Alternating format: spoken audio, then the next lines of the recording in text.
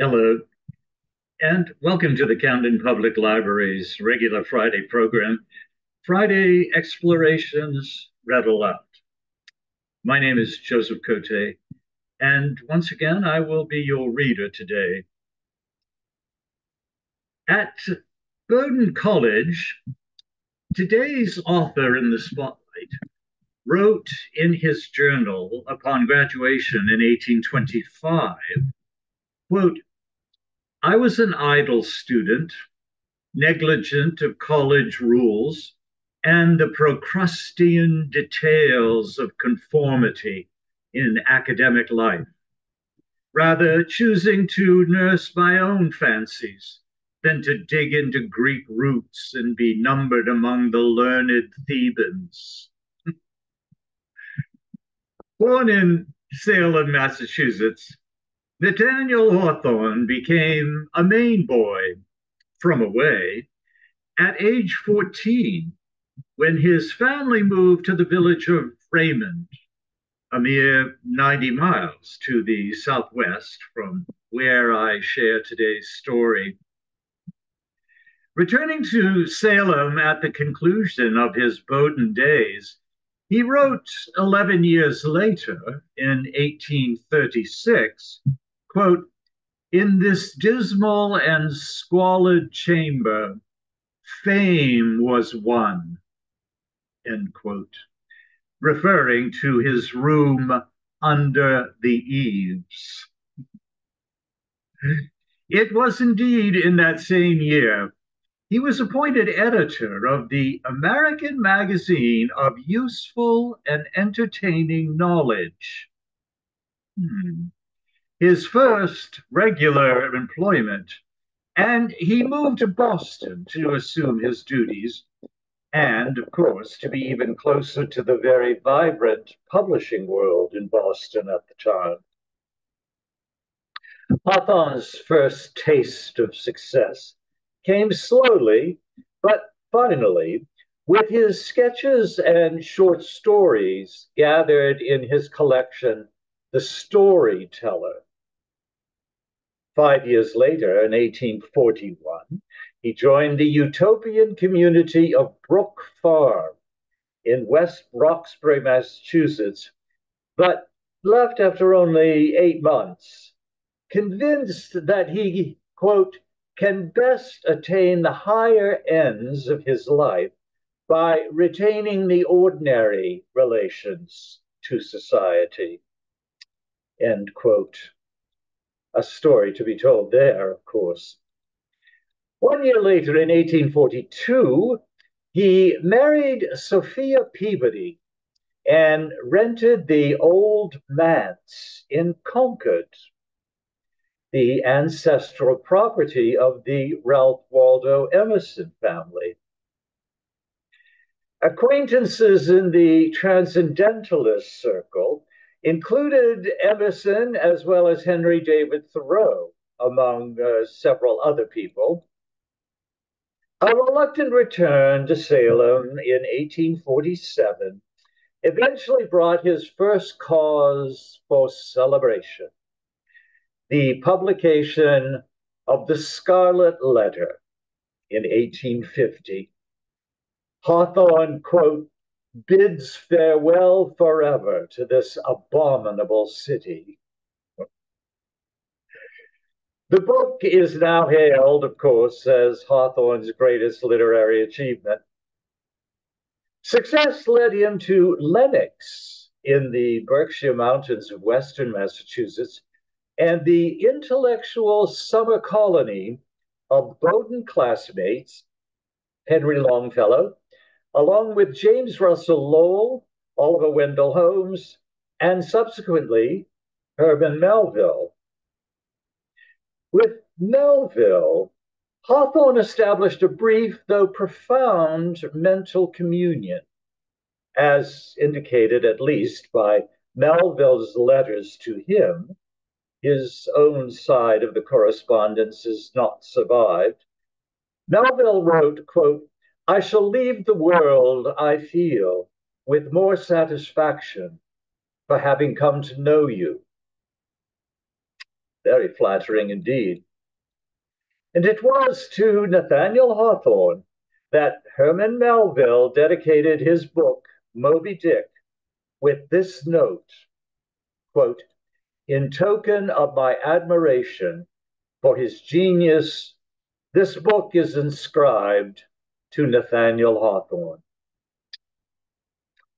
The House of the Seven Gables cemented Hawthorne's literary legacy in 1851, as did his third edition of the ever popular Twice Told Tales, with 17 previously uncollected short stories. One year later, in 1852, our great New England writer penned the Blithedale Romance, the first of four novels he himself called romances, quote, unrealistic stories in exotic settings. Near the end of that decade, little technical slip there. At the end of that decade of the 1850s, the Hawthornes traveled to France, then by sea to Italy, and significantly to Rome from January to May and back again in the fall. Significantly because today's novel unfolds in the great city of Rome. Hawthorne was fascinated by what he saw as the, quote, great decay of Rome, keeping notebook records of observations of scenes and persons, particularly of the expatriate community. Sculptor William Wetmore Story, William Cullen Bryant, and Robert and Elizabeth Barrett Browning Hawthorne's vivid experiences in Rome gave birth finally in 1860 to the fourth and last of his romances, indeed, the last of his finished novels, The Marble Faun, today's book in the spotlight. Millicent Bell, former professor of English at Boston University and 1983 editor of the second volume of Hawthorne's works, writes, quote, Hawthorne is even more appreciated in our time than he was in his own, and his inexhaustibly suggestive style will strike many readers as remarkably contemporary. End of quote. Nathaniel Hawthorne's works do belong to Romanticism, or more specifically, dark romanticism. Cautionary tales that suggest that guilt and sin and evil are the most inherent natural qualities of humanity. A Puritan indeed. His depictions of the past are a version of historical fiction used only as a vehicle to express common themes of ancestral sin, guilt, and retribution. Nathaniel Hawthorne, one of America's greatest mid 19th century authors, was coincidentally born on Independence Day, July 4th, 1804. And now to the marble faun. The central metaphor of the marble faun is indeed a sculpture of a faun, a half human and half goat mythological creature appearing in Greek and Roman mythology. The faun was a sculpture that Hawthorne had first seen in Rome the sculptor was Praxiteles of Athens, the most renowned of the Greek sculptors of the fourth century BCE. When Donatello, oh, another glitch here, we're skipping around too much today here. The faun of Hawthorne's novel is a man by the name of Donatello, a passionate young Italian who makes the acquaintance of three artists who are spending time in Rome. Kenyon and Hilda, who are both from the United States, uh, joined by Miriam, according to the novel's narrator, quote, was plucked up out of a mystery and has its roots still clinging to her. We know not where she is from, although the implication is European. When Donatello kills a man who has been shadowing Miriam, he is racked by guilt until he is arrested by the police and imprisoned. Donatello's resemblance to the sculptured faun is typical of his spirit, unawakened, and looking neither before nor after until his crime puts an end forever to his joyous holiday existence, and remorse for it develops his intellect and his soul. Kenyon is a good type of a cultivated American, quietly enthusiastic, tolerant, not cynical, loving art, and not despising America. Hilda is remarkable for the great moral strength united with her delicacy and her sensibility. She is often referred to in the book as a good New England girl.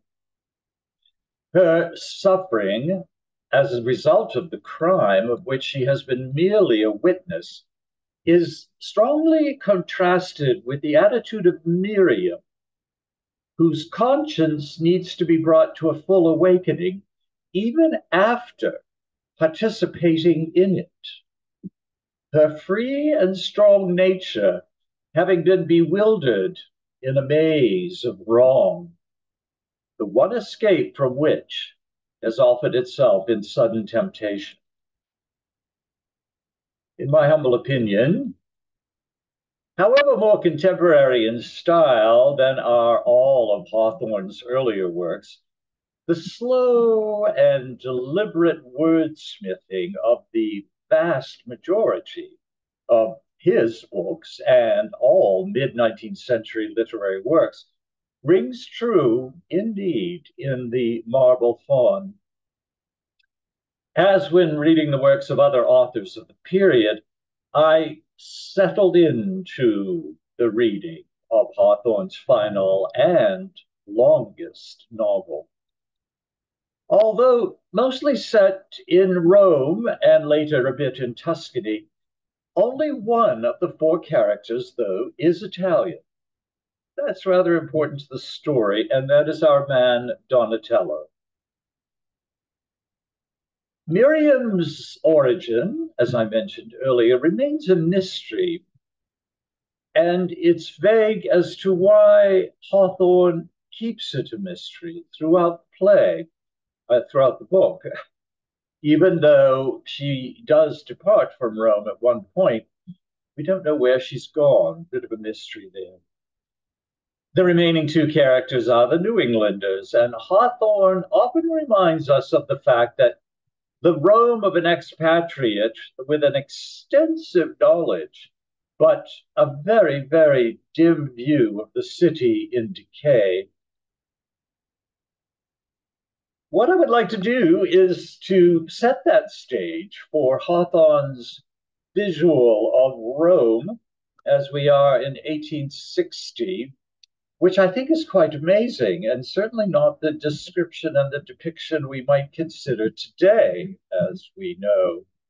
Um, it's really quite fascinating that he uh, is so um, anti Rome, if I may speak about that.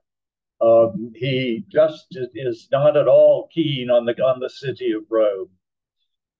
Let's see now. I have lost my post-it on that. How can that possibly be? Well, I'm afraid I'm going to have to insert things then as we go along. As I read from the beginning of the book, you will get the very strong sense, indeed, um, that he is not very fond of Rome. I am going to start at the beginning, and I'm going to circle back toward the end uh, to um, the uh, visual of uh, the uh, man lost. Does it require drama in someone's life, bad, in order to achieve goodness? Hmm.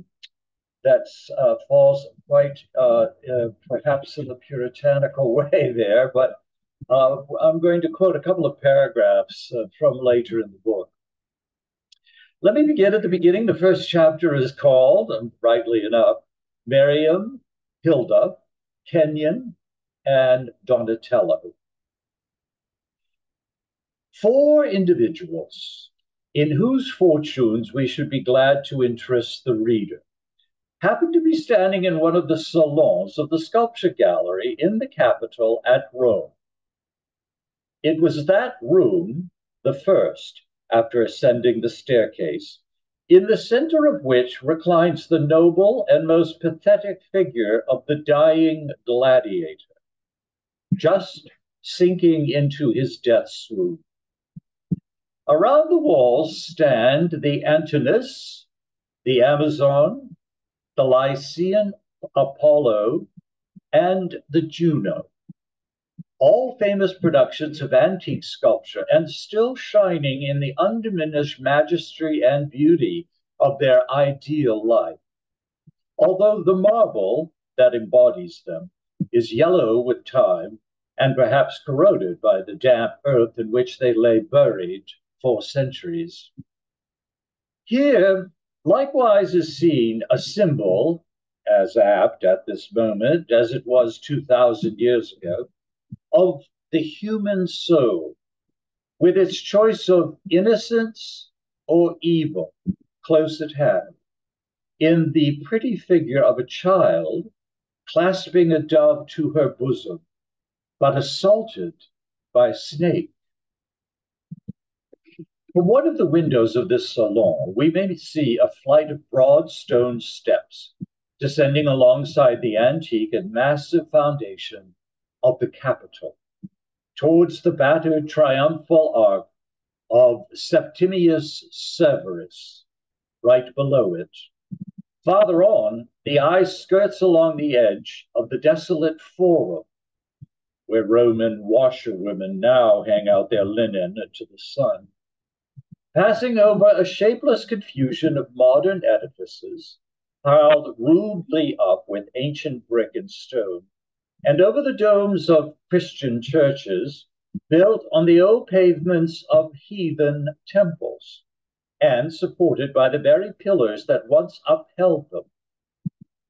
At a distance beyond, yet but a little way, considering how much history is heaped into the intervening space, rises the great sweep of the Colosseum, with the blue sky brightening through its upper tier of arches. Far off, the view is shut in by the Alban Mountains, looking just the same amid all their decay and change as when Romulus gazed thitherward over his half finished wall.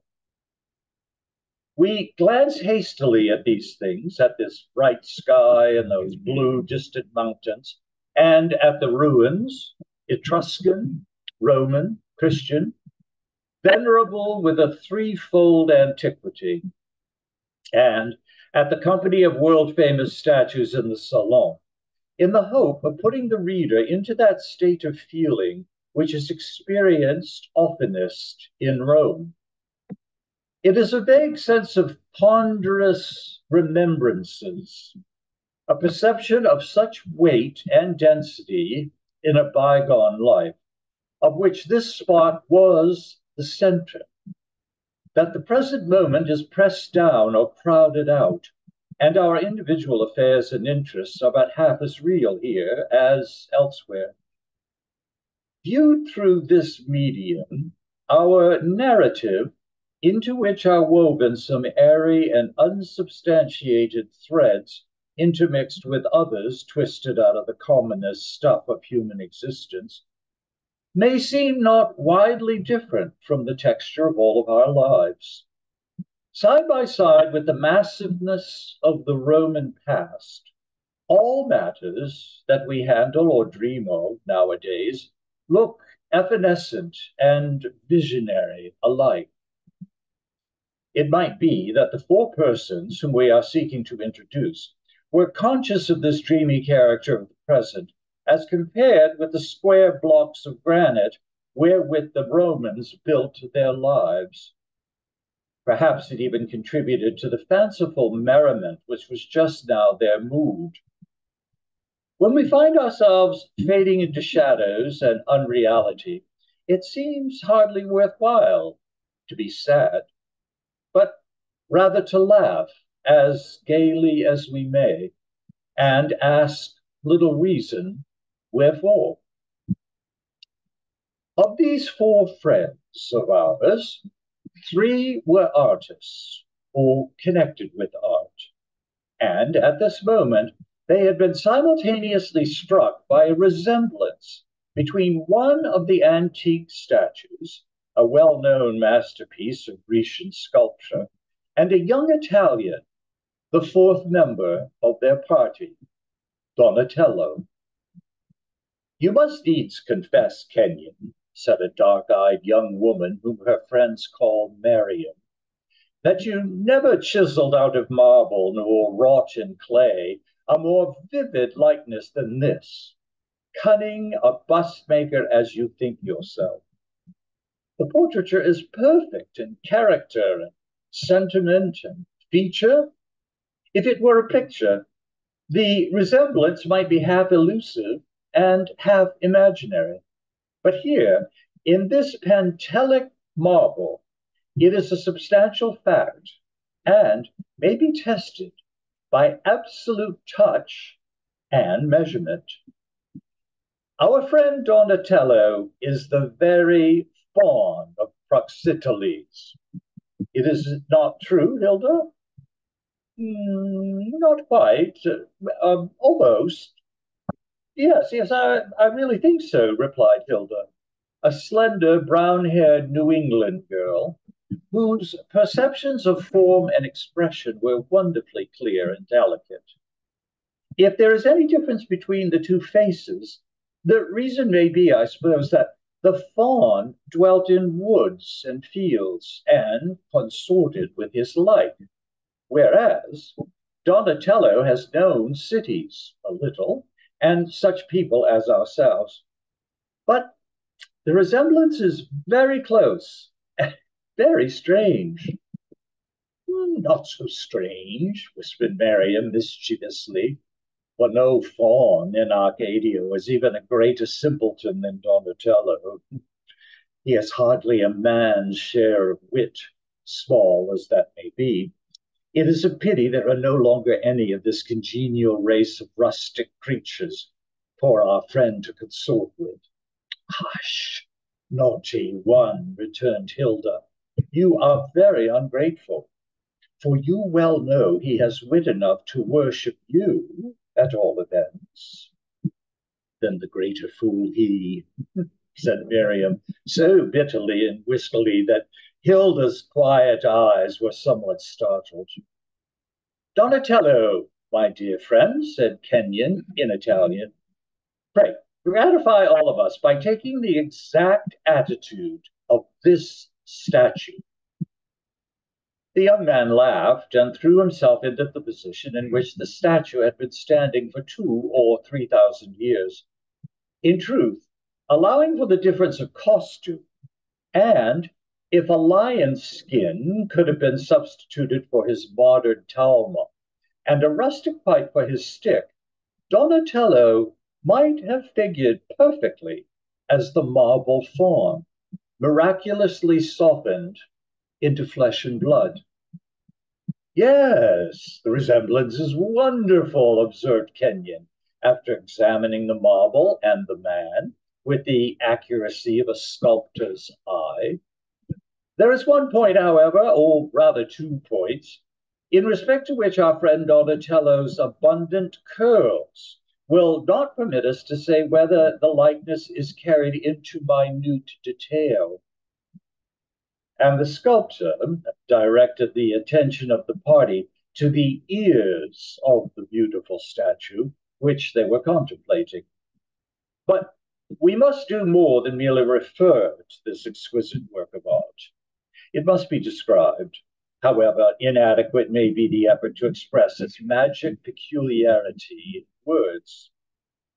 The faun is the marble image of a young man leaning his right arm on the trunk or stump of a tree. One hand hangs carelessly by his side. In the other, he holds the fragment of a pipe or some such sylvan instrument of music. His only garment, a lion's skin, with the claw upon his shoulder, falls halfway down his back, having leaving the limbs and entire front of the figure nude. The form, thus displayed, is marvelously graceful, but has a fuller and more rounded outline, more flesh and less of heroic muscle than the old sculptors were wont to assign to their types of masculine beauty. The character of the face corresponds with the figure. It is most agreeable in outline and feature, but rounded and somewhat voluptuously developed, especially about the throat and the chin.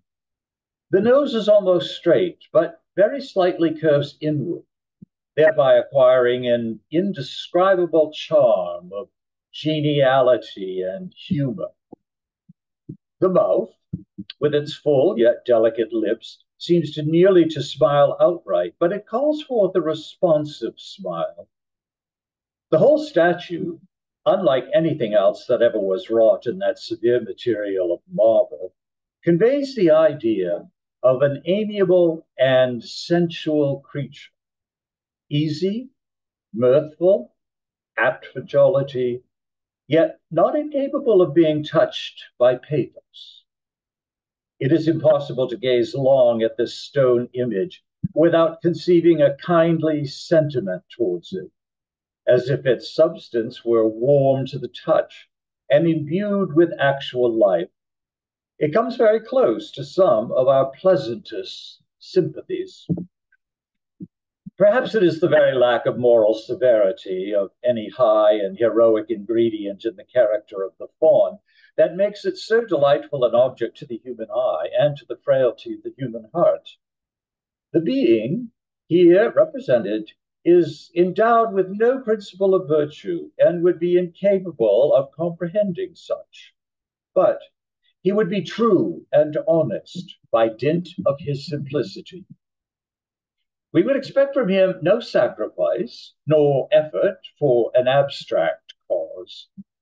There is not an atom of martyr's stuff in all that softened marble, but he has a capacity for strong and warm attachment, and might act devotedly through its impulse and even die for it if need. It is possible, too, that the faun might be educated through the medium of his emotions, so that the coarser animal portion of his nature might eventually be thrown into the background, though never utterly expelled. The animal nature, indeed, is the most essential part of the faun's composition, for the characteristics of the brute creation meet and combine with those of humanity. In this strange yet true and natural conception of antique poetry and art. Praxiteles has subtly diffused throughout his work that mute mystery which so hopelessly perplexes us whenever we attempt to gain an intellectual or sympathetic knowledge of the lower orders of creation. The riddle is indicated, however, only by two definite signs. These are the two ears of the faun, which are leaf shaped, terminating in little peaks like those of some species of animals. Though not so seen in the marble, they are probably to be considered as clothed in fine downy fur. In the coarser representations of this class of mythological creatures, there's another token of brute kindred, a certain caudal appendage, which, if the faun of Praxiteles must be supposed to possess it at all, is hidden by the lion's skin that forms his garment. The pointed and furry ears, therefore, are the sole indications of this wild forest nature. Only a sculptor, sculptor of the finest imagination, the most delicate taste, the sweetest feeling, and the rarest artistic skill, in a word, a sculptor and a poet too, could have first dreamed of a faun in this guise and then have succeeded in imprisoning the sportive and frisky thing in marble. Neither man nor animal, and yet no monster, but a being in whom both races meet on friendly ground. The idea grows coarse as we handle it and hardens in our grasp, but if the spectator broods long over the statue, he will be conscious of its spell all the pleasantness of sylvan life, all the genial and happy characteristics of creatures that dwell in woods and fields will seem to be mingled and kneaded into one substance, along with the kindred qualities in the human soul. Trees, grass, flowers, woodland, streamlets, cattle, deer, and unsophisticated man. The essence of all of these was compressed long ago and still exists within the discolored marble surface of the faun of Praxiteles. Excuse me. And after all, the idea may have been no dream, but rather a poet's reminiscent of a period when man's affinity with nature was more strict and his fellowship with every living thing more intimate and dear. The next chapter is called The Faun, which is obviously appropriate. Excuse me. Donatello, playfully cried Miriam, do not leave us in this perplexity. Shake aside those brown curls, my friend, and let us see whether this marvelous resemblance extends to the very tips of the ears. If so, we shall like you all the better. No, no, no, no, dearest signorina, answered Donatello, laughing, but with a certain earnestness. I entreat you to take the tips of my ears for granted. As he spoke, the young Italian made a skip and a jump light enough for a veritable faun, so as to place himself quite beyond the reach of the fair hand that was outstretched, as if to settle the matter by actual examination. I shall be like a wolf of the Apennines, he continued, taking his stand on the other side of the dying gladiator. If you touch my ears ever so softly, none of my race could endure it. It has always been a tender point with my forefathers and me. He spoke in Italian with the Tuscan rusticity of accent and an unshaped sort of utterance, betokening that he must heretofore have been chiefly conversant with rural people. Well, well, said Marian, your tender point, your two tender points, if you have them, shall be safe as far as I'm concerned. But how strange this likeness is, after all, and how delightful it is really includes the pointed ears. No, it is impossible, of course, he continued in English, with a real and commonplace young man like Donatello but you see how this peculiarity defines the position of the faun, and while putting him where he cannot exactly assert his brotherhood, still disposes us kindly towards the kindred creature. He is not supernatural, but just on the verge of nature, and yet within it. What is the nameless charm of this idea, Hilda? Can you feel it more delicately than I?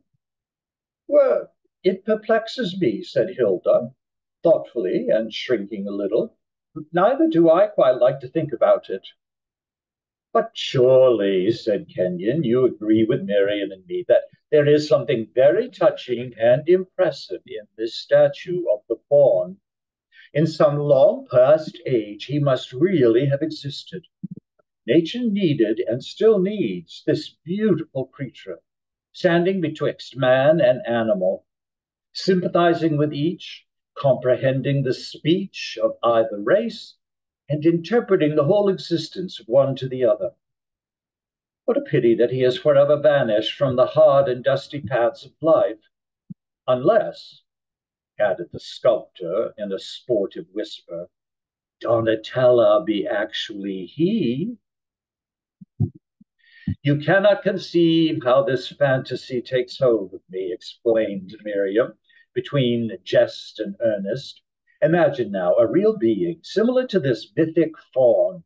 How happy, how genial, how satisfactory would be his life enjoying the warm, sensuous, earthy side of nature, reveling in the merriment of woods and streams, living as our four-footed kindred do, as mankind did in its innocent childhood, before sin, sorrow, or, or morality itself had even been thought of.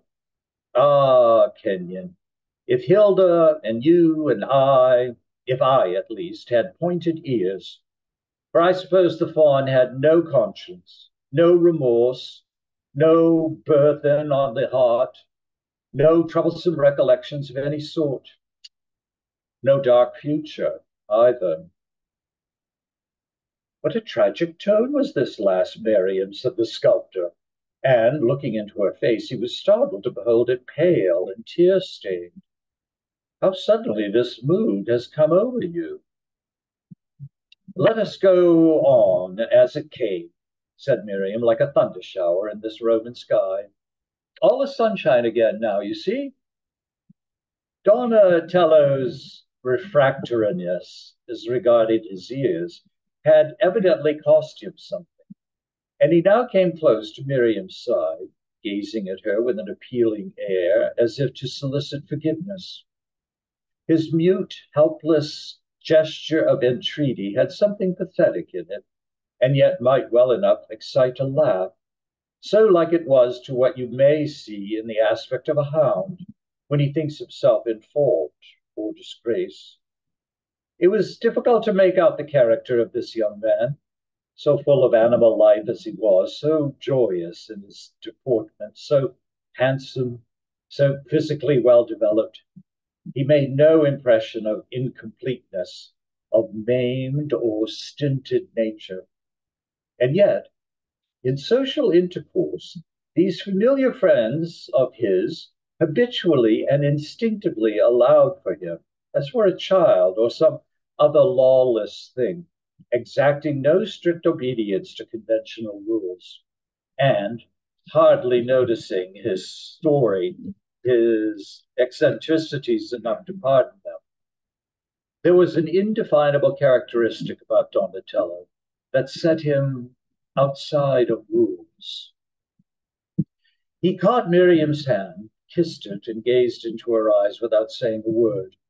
She smiled, and bestowed on him a little careless caress, singularly like what one would give to a pet dog when he puts himself in the way to receive it. Not that it was so decided a caress, neither, but only the merest touch, somewhere between a pat and a tap of the finger. It might be a mark of fondness, or perhaps a playful pretense of punishment.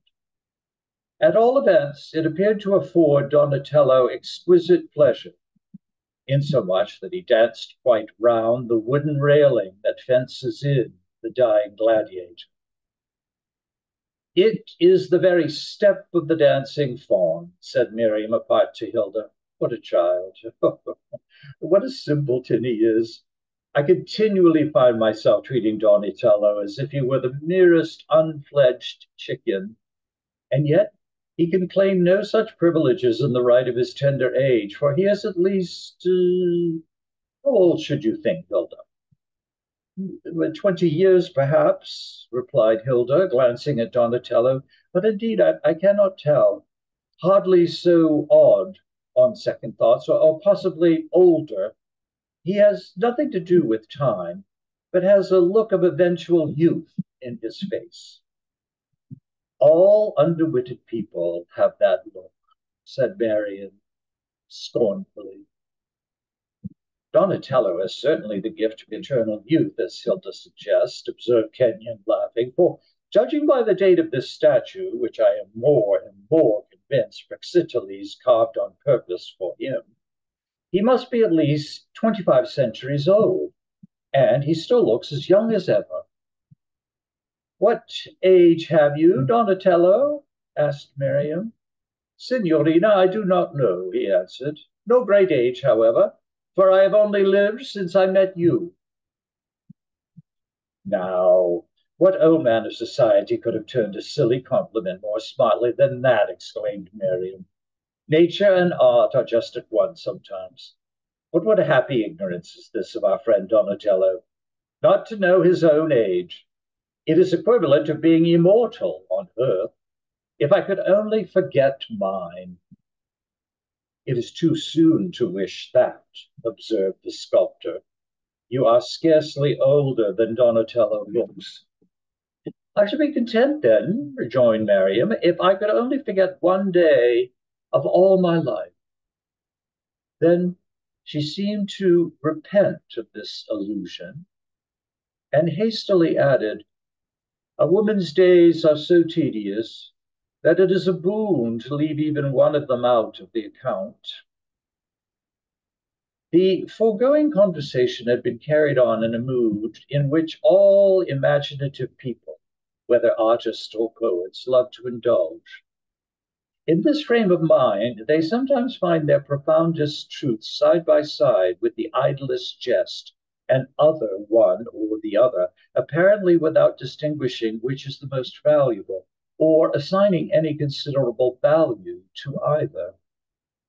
The resemblances between the marble faun and their living companion had made a deep, half serious, half mirthful impression on these three friends, and had taken them into a certain airy region, lifting up, as it is so pleasant to feel them lifted, their heavy earthly feet from the actual soil of life. The world had been set afloat, as it were, for a moment, and relieved them for just so long of all customary responsibility for what they thought and said. It must be under this influence, or perhaps because sculptors always amuse one another's works, that Kenyon threw in a criticism upon the dying gladiator. I used to admire this statue exceedingly, he remarked, but laterally. I found myself getting weary and annoyed that the man should be such a length of time leaning on his arm in the very act of death. If he is so terribly hurt, why does he not sink down and die without further ado? Flitting moments, imminent emergencies, imperceptible intervals between two breaths ought not to be entrusted to the eternal repose of marble. In any sculptural subject, there should be a moral standstill, since there must be necessity of a physical. Otherwise, it is like flinging a block of marble up into the air and by some trick or enchantment causing it to stick there. You feel that it ought to come down and are dissatisfied that it does not obey the natural law. I see, said Miriam mischievously. You think that sculpture should be a sort of fossilizing process. But in truth, your frozen art has nothing like the scope and freedom of Hilda's and mine. In painting, there is no similar objection to the representation of brief snatches of time, perhaps because a story can be so much more fully told. In picture, and buttressed about with circumstances that give it an epoch for instance, a painter never would have sent down yonder faun out of his fair antiquity, lonely and desolate, with no companion to keep the simple heart warm. Ah, the faun, cried Hilda with a little gesture of impatience. I've been looking at him too long. And now, Instead of a beautiful statue, immortally young, I see only a corroded and discolored stone. This change is very apt to occur in statues. And a similar one in pictures, surely, retorted the sculptor. It is the spectator's mood that transfigures the transconfiguration itself. I defy any painter to move and elevate me without my own consent and assistance. Then you are deficient of a sense, cried Miriam. The party now strayed onward from hall to hall of that rich gallery, pausing here and there to look at the multitude of noble and lovely shapes which have been dug up out of the deep grave in which old Rome lies buried. And still, the realization of the antique faun in the person of Donatello gave a more vivid character to all these marble ghosts. Why should not each marble statue grow warm with life? Antinous might lift his brow and tell us why he is forever sad. The Lycian Apollo might strike his lyre. And at the first vibration, that other faun in red marble, who keeps up a motionless dance, should frisk gaily forth, leading yonder satyrs with shaggy goat shanks to clatter their little hoofs upon the floor, and all join hands with Donatello. Bacchus, too, a rosy flush diffusing itself over its time-stained surface, would come down from his pedestal and offer a cluster of purple grapes to Donatello's lips, because the god recognizes him as the woodland elf who so often shared his revels. And here, on this sarcophagus, the exquisitely carved figures might assume life and chase one another round its verge with that wild merriment which is so strangely represented on those old buried coffers, though still with some subtle allusion to death, carefully veiled, but forever peeping forth amid emblems of mirth and rot. As the four friends descended the stairs, however, their play of fancy subsided into a much more somber mood, a result apt to follow upon such exhilaration as that which had so recently taken possession of them. Do you know, said Miriam confidentially to Hilda, I doubt the reality of this likeness to Donatello to the faun, which we have been talking so much about. To say the truth, it never struck me so forcibly as it did Kenyon and yourself, though I gave in whatever you were pleased to fancy, but for the sake for a moment's mirth and wonder. Well, I was certainly in modest, in earnest, as you seemed equally so, replied Hilda, glancing back at Donatello, as if to reassure herself of the resemblance. But faces change so much from hour to hour that the same set of features that offer no keeping with oneself, to an eye at least, which looks at expression more than outline. How sad and somber he has grown all of a sudden. Angry, too, methinks. Nay, it is his anger much more than sadness, said Miriam. I've seen Donatello in this mood once or twice before. If you consider him well, you will observe an odd mixture of the bulldog or some other equally fierce brute in our friend's composition, a trait of savageness hardly to be expected in such a gentle creature as he usually is. Donatello is a very strange young man, I wish you would not haunt my footsteps so continually. You have bewitched the young man and poor lad, said the sculptor, laughing. You have a faculty of bewitching people, and is providing you with a singular train of followers. I see another of them behind yonder pillar, and it is his presence that has aroused Donatello's wrath. I'm going to end the chapter there there are some key words and key reactions that play out throughout the book. Uh, wrath is one of them, and anger is another one of those words. And also this mysterious moment where Marion is recalling a single day from the past, which she would like to erase from her diary, as it were. Uh, so there is, um, uh, he's placing a lot of little red flags at this point in time. as the novel goes on, uh, it is beca- it becomes more and more of a mystery novel, as a matter of fact. Um, first mystery being the source of from whence came she and how is she in the book? Um, and there is somebody following her all the time, um, we find out later is a monk. But that story is obviously tied to this moment in chapter two. Um, and then the wrath and anger, certainly the anger piece, comes out very, very strongly three fourths of the way through the book.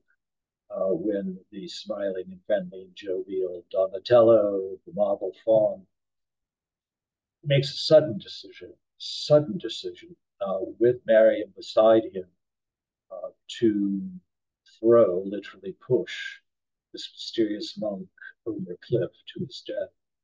And that is all observed by Hilda, so even though the sculptor in our group knows nothing of this, of the three of them continue on the story with the sculptor coming in and out, but it is the three of them and the effect of that single moment that connects to Mariam, then of course connects in a moment of anger to Donatello.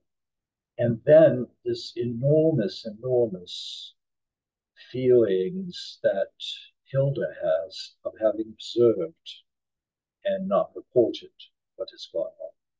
So the book becomes very much a mystery novel in many ways. It, of course, is a novel of romance as well. Uh, and we do find out later that the sculptor and Hilda have a, a connection that develops as the book goes on. So there is romance there. But there is also mythology, um, and there is also magic uh, and because Hawthorne's knowledge of Rome, particularly, um, is so uh, detailed uh, in that period that he spent in Rome, you can walk with him. if you know Rome, you know that everything he's t- taking you on, you see. Um, so it's very, very detailed. Turn left, turn right, kind of thing. So it's also a bit of a travelogue. I think it's his best book actually.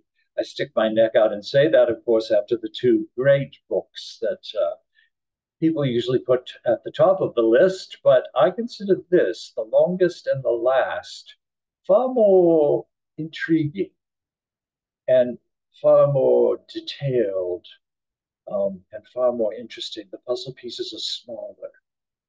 And so, as you know, make a thousand piece puzzle, you must be much more careful than a 500 piece puzzle using that simple comparison uh, to note that I find this book to be finest. So I give it high recommendations, and I hope you might read it. You perhaps have read the first two books. Uh, most of us read at least one of them in high school. but if you've not read The Marble Faun, I very, very strongly recommend it. I wanted to close, though, with a couple of paragraphs just uh, to bring up this subject of uh, the, di- the falling man or the fall of man.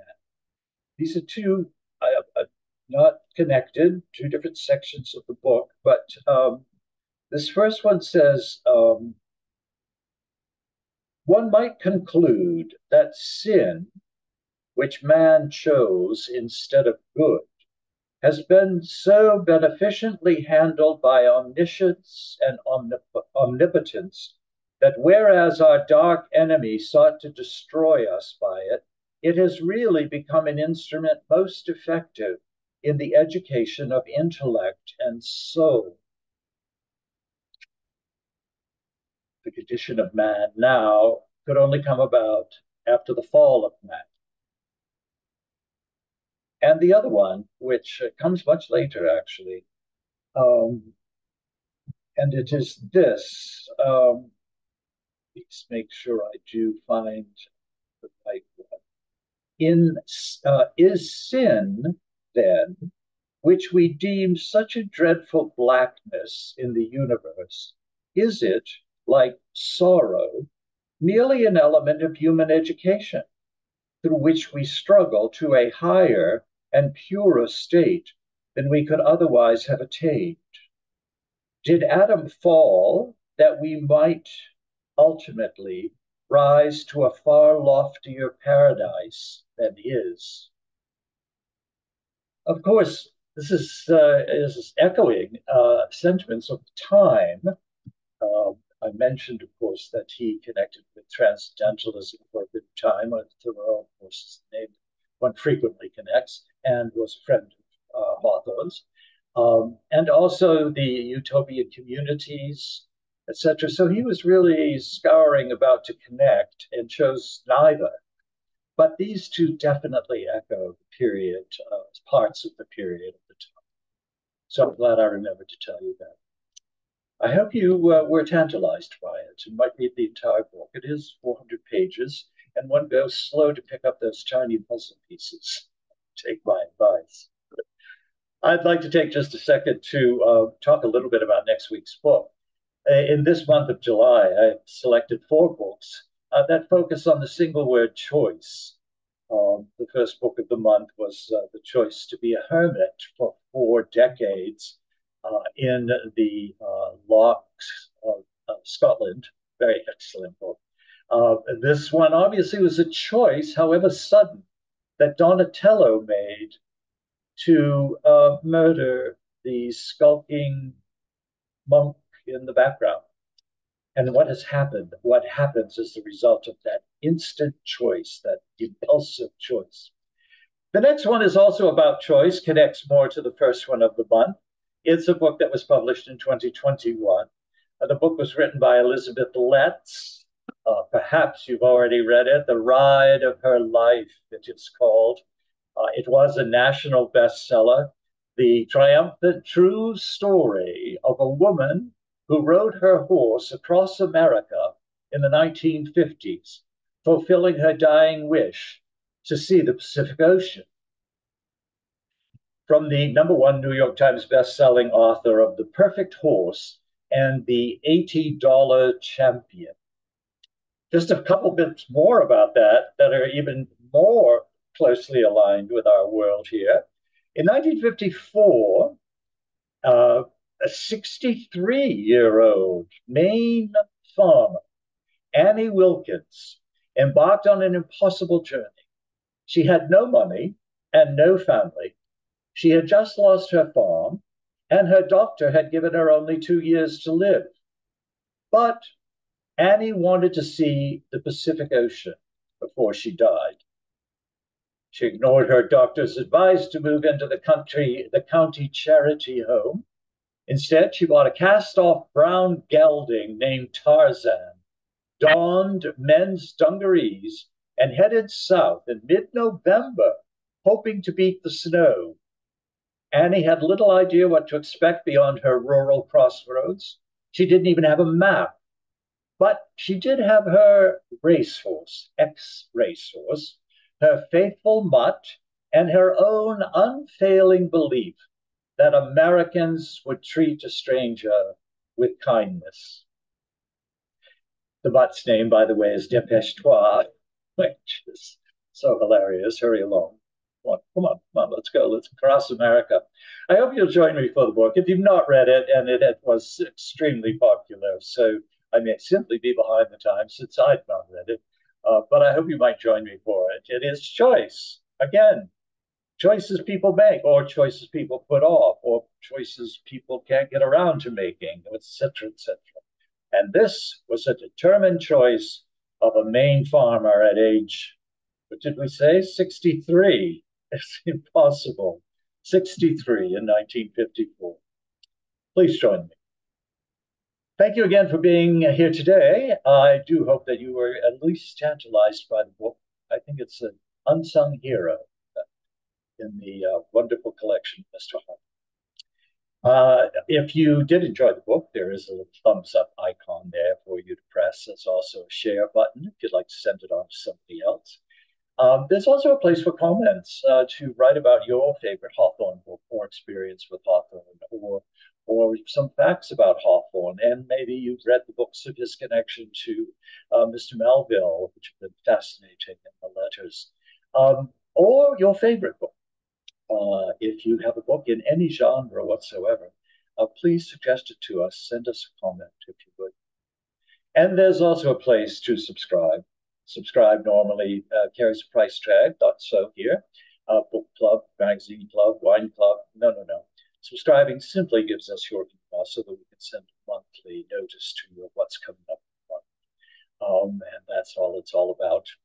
Uh, so if you do that, also it would help us stay uh, in first place among all the public libraries in the state of Maine, small, medium, large, uh, with the highest number of subscribers to our YouTube programs channel. We've been in that position for a year and a half. So we're quite happy.